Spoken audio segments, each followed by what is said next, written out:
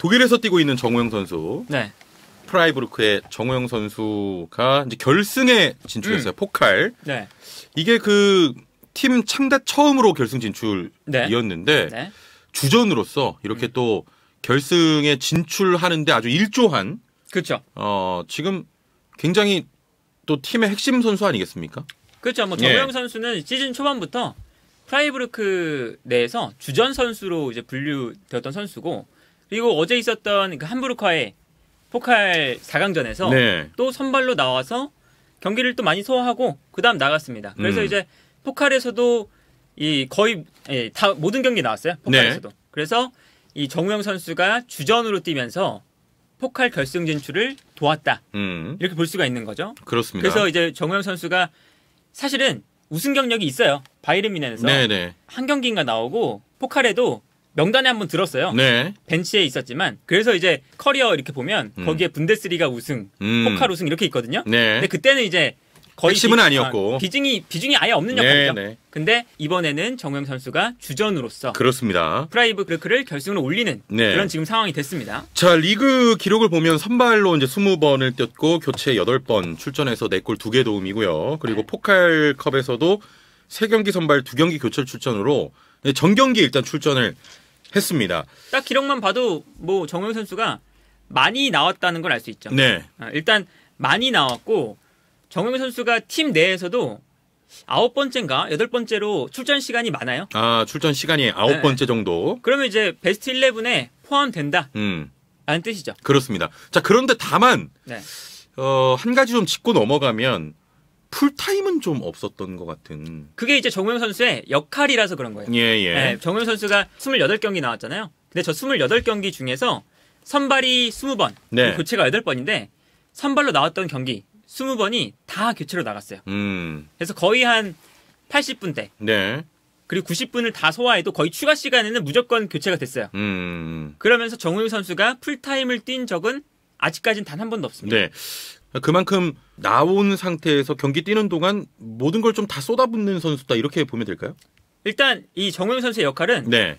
그러니까 보통 이제 저렇게 90분을 못 뛰는 선수들은 그러니까 보통 마티치나 어제 맨유 리버풀 경기처럼 네, 네. 체력적으로 이제 나이가 많이 들어서 음.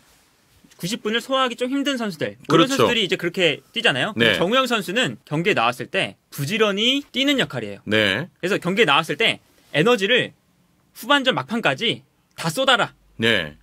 대신에 후반전 막판에 널 교체할 거니까 음. 그 전까지는 너가 마음껏 뛰어라. 음. 라는 게 정우영 선수의 역할이에요. 열심히 뛰어라. 그렇죠. 정우영 선수가 원래 이제 플레이 스타일도 워낙 활동량도 많고요. 활동 네. 반경도 넓어요. 그래서 지금 heat map을 봐도 경기장 전체에 찍혀 있죠. 음.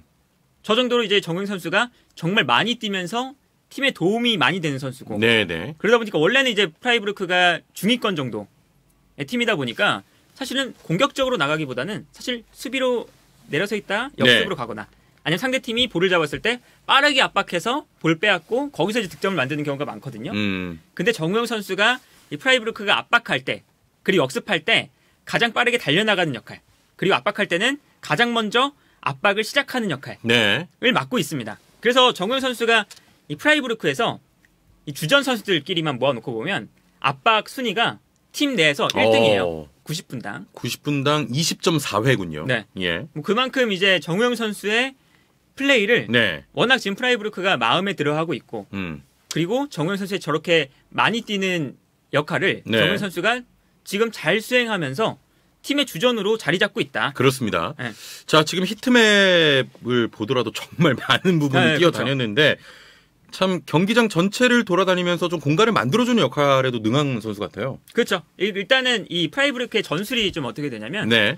보통 3백을 해서 3-4-3으로 나오거나 아니면 4-4-2로 나와요. 네. 그럼 정우영 선수는 최전방에 있는 헬러라는 최전방 공격수가 있어요. 그 선수도 엄청 뛰는 선수예요.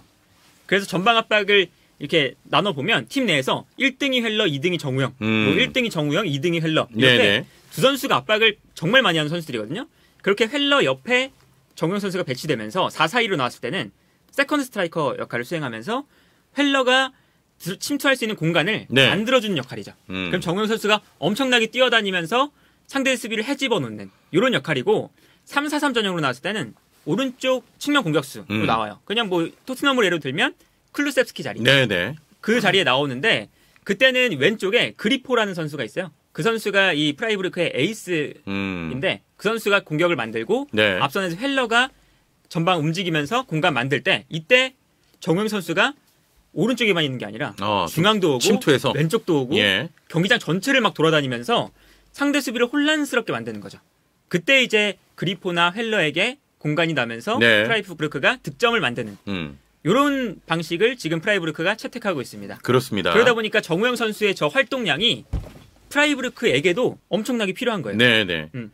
그래서 모든 걸 다 쏟아붓고 네. 교체가 되는 선수인데 네. 포칼 결승에 진출했습니다. 프라이브르크 네. 이적 이후에 첫 음, 음. 우승을 좀 도전하게 되는데 정우영 선수도 지금 실점도 몇 표를 보면 어, 나와 있습니다만 실점도 최소 실점 3위고요. 네. 음. 특히 이 세트피스 득점 1위라고 돼 있는데 네. 굉장히 강한 것 같아요. 세트피스에서. 일단 헬러라는 최전방 공격수 아까 말씀드린 예. 헬러도 세트피스에 강하고요. 그리고 3-4-3을 쓸 때 왼쪽에 긴터가 있고 그 네. 밑에 이제 왼쪽 중앙 수비수 자리에 이 슬로터백 네. 이란 선수가 있어요. 그 선수가 이제 도르트문트랑 아주 연결이 자주 되는 선수죠. 네. 지금 이제 거의 뭐 이적에 근접했다. 뭐 음. 이런 이야기가 나오는 선수인데 그 선수도 세트피스에 아주 능해요. 네. 그리고 3백의 중앙 수비수인 린하르트라는 선수도 이 세트피스에 너무 강해서 세트피스 상황에서 늘 이제 약팀이 종종 이 리그에서 정말 이변을 일으킬 때 네. 그러면서 순위가 막 올라갈 때 그때 이제 보면 늘 나오는 패턴이나 흐름 중 하나가 세트피스 득점이 많거든요. 아, 그럼요. 예. 그래서 수비하다가 한 방 한 방씩 때리고 네. 경기 승리를 가져오는 이런 장면들이 많은데 음. 지금 프라이브루크가 그러한 형태를 띠고 있습니다. 네. 그래서 분데스리가 전체에서 세트피스 득점 1위 뭐 그런 팀이죠. 네. 심지어 이제 순위만 봐도 사실은 지금 30경기까지 했거든요. 음. 그런데 프라이브루크가 지금 5위예요. 4위 레버쿠젠보다 1점이 적고 3위 라이프치히보다는 3점이 적습니다. 네, 네. 그렇기 때문에 시즌 막판의 결과에 따라서 프라이브루크가 챔스도 갈 수 있어요. 그렇습니다. 지금 그 부분이 음, 음. 어, 좀 관심이 되는데 네. 말씀하신 것처럼 챔스권도 지금 눈앞에 있어요. 그렇습니다. 레버쿠젠과 1점 차고 이렇게 되면 만약에 챔스 진출한다라고 하면 자 12, 13 시즌에 5위를 뛰어넘는 네, 그렇죠. 예. 뭐 가장 좋은 기록 아니겠습니까? 구단 입장에서. 가장 좋은 기록이죠. 예, 그때도 예. 이제 슈트라이히 감독이었고 네. 슈트라이히 감독을 이제 그때부터 프라이브루크가 믿으면서 네. 지금까지 이어져 오고 있는 건데 이번 시즌 그 기록을 경신할 수 있는 위치에 와 있고 네. 그 중심에 정우영 선수가 있다. 그렇습니다. 포칼. 음. 우승과 함께 또 음. 리그 챔피언스 리그에 또 진출하는 그런 모습을 그렇죠. 어, 보고 싶습니다. 그래서 이제 정우영 선수는 사실은 국내 뭐 축구 컨텐츠나 네. 이런데 사실은 많이 등장을 안 하고 있잖아요. 음. 근데 정우영 선수가 분데스리가에서 아주 좋은 활약을 펼치고 있어요. 일단 5위권에 지금 있는 팀에서 주전인 선수고 네. 정우영 선수의 팬분들은 정말 이 정우영 선수를 기특하게 생각하는 네. 점이 뭐냐면 정우영 선수가 유스 시절부터 가지고 있는 단점들이 좀 있었거든요. 음. 뭐였냐면 투박한 거. 그렇죠. 빠른데 이 선수가 빨라요. 예. 그래서 윙어로 시작했어요. 오른쪽, 왼쪽 윙어를 다 볼 수 있는 선수예요. 네. 근데 윙어로 놨더니 이 바이에르미넨에서 판단했던 게 뭐냐면 측면으로 뛰었을 때 코망이나 그나브리처럼 음. 그런 유연한 드리블 능력이나 개인기는 없다. 네. 이렇게 판단했어요. 바이에른 뮌헨에서도. 그러니까 이 선수가 사실 분데스리가에서 뭔가 기술적인 윙어가 되기엔 음. 부족한 선수였던 거죠. 네. 그냥 빠른 선수였으니까. 그리고 사실은 좀 투박한 게 조금 있는 선수니까. 음. 그런데 정우영 선수가 자신의 이 활동량, 워낙 많이 뛰는 이 부지런함, 이런 것들을 살려서 네. 이 프라이브르크에 온 이후에는 측면이 아니라 아까 말씀드린 것처럼 second striker에서 뛰고 있어요. 네, 네. 근데 요 자리에서 뛰는 게 오히려 팀에게 전방 압박에도 도움이 되고 음. 열심히 움직이면서 침투도 하고 그쵸, 침투도 하고 팀에게 공간을 네, 만들고 공간 내주고. 요게 이제 이 정우영 선수의 장점이 돼버린 거예요. 네, 네. 그러면서 정우영 선수가 이제는 윙어라고 보기엔 힘들고요. second striker. 아.